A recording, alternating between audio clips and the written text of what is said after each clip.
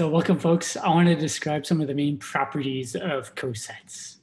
So G is a group and H is a subgroup.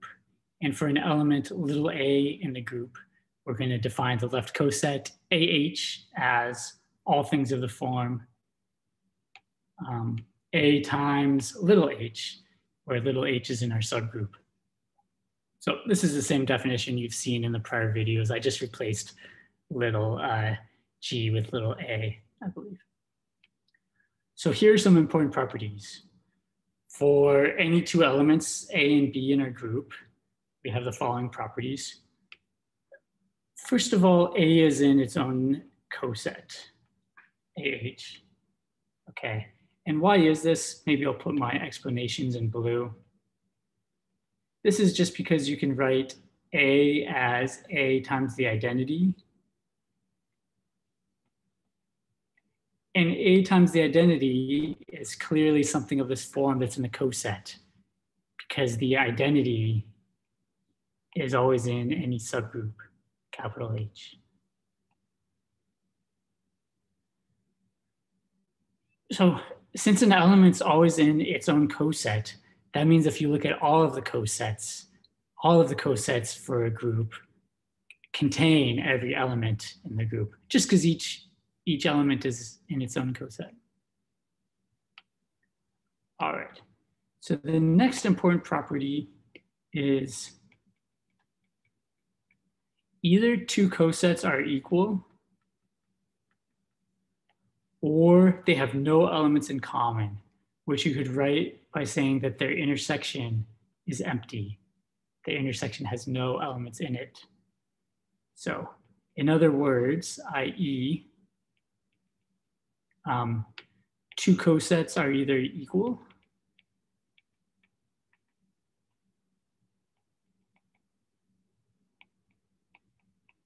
or disjoint.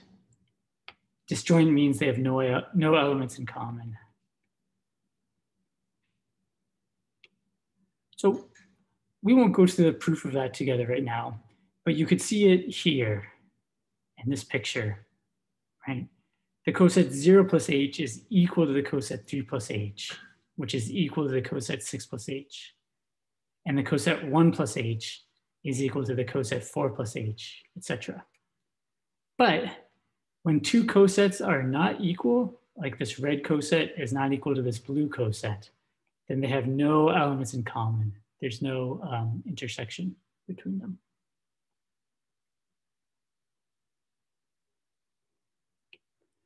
And then the last important property is that um, the size of any two cosets is equal. So this left coset by A has the same size as this left coset by B. And, and both of these sizes are just equal to the size of the subgroup, okay? which I guess is a coset in its own right. You know, that's the identity times H the, the subgroup H is the left coset by the identity, if you, if you like. Okay. So I think there might be a mistake in your notes or what you wrote. Yeah, help me out. Um, so I think you said the intersection between the two two cosets should be zero. It shouldn't, or shouldn't it? It should be zero. It should not be zero, right? Yes, you're correct. Yeah, so I made a mistake here. This should be equal. So let me put this and red. I appreciate that. No problem. Yeah. Yeah, either two cosets are equal or they're disjoint. They have no elements in common. So, so how would you prove that two cosets always have the same size and that their size is the, the same as the size of H? You know, this would, you'd prove this using the cancellation law.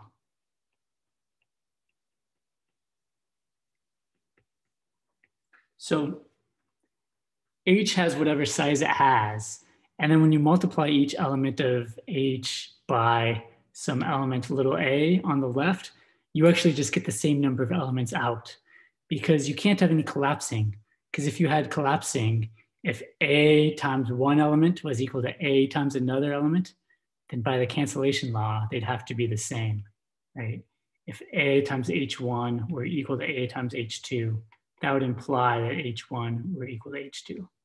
But That's because if we chose, um, Is that because of the function being one to one? Yeah, so this this sort of think of this as a map. We're mapping from H to the coset AH by multiplying by A. And exactly, that, that map is one to one. It doesn't collapse the size at all. So let me just show you a picture of this. We saw this here. You know, our subgroup H had size four. And then when you translate the subgroup, say by adding one, you know, you still get a, a subgroup of size four. There's no um, overlaps. And another way of saying that is that, you know, when you apply this element A on the left, um, that map from, um, from the group, from um, that map from a subgroup onto a coset is injective or one-to-one.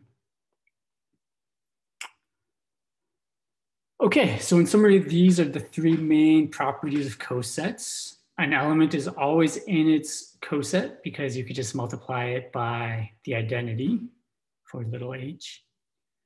Two cosets are either equal or disjoint. They have no elements in common.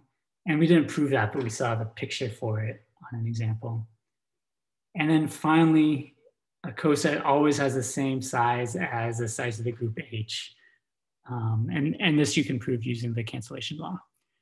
So these are the only th three properties that we'll need to prove Lagrange's theorem in the next video, which says that the size of a, a subgroup always divides evenly into the size of a finite group. Public questions.